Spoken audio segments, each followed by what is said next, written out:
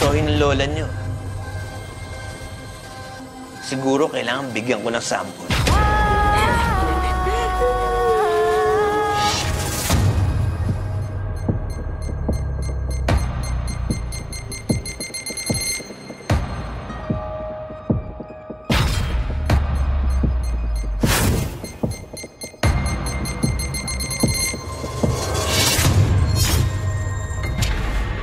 Brad, ilabas mo ang cellphone.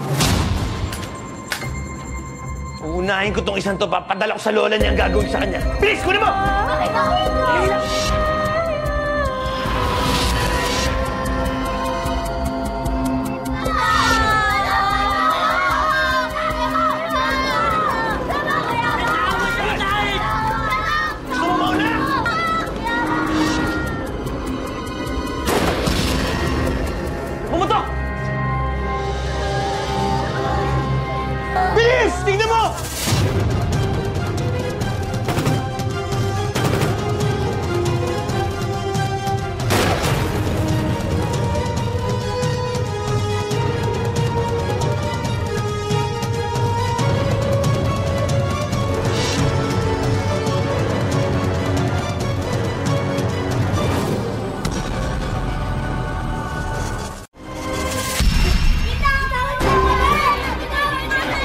Tingin mo, bata! Tingin mo, bilis! Tingnan natin! Doon, bilis!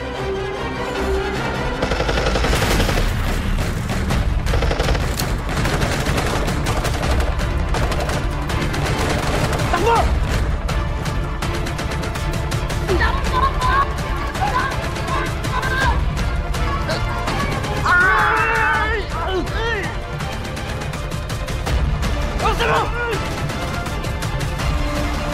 Uy!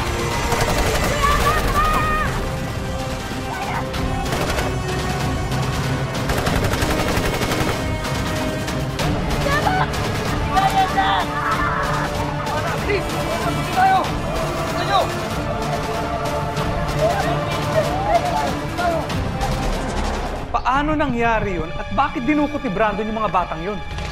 Well, like what Brandon said to the president, bumabawi lang siya. Gusto niya malaman kung saan nagtatago ang vendetta at si Ricardo Dalisay. Am I right, Mr. President? At paano kung pumalpak na naman ang plano ni Brandon?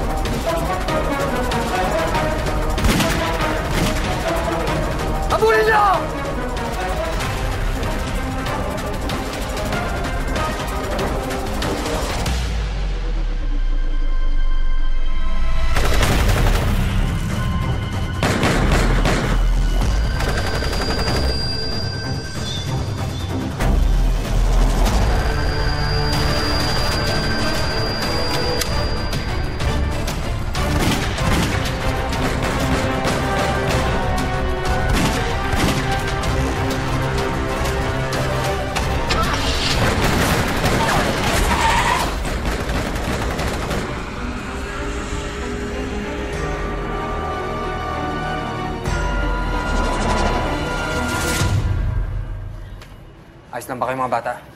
Opo. Beverly, maraming salamat po sa pagligtas niyo sa amin, ha.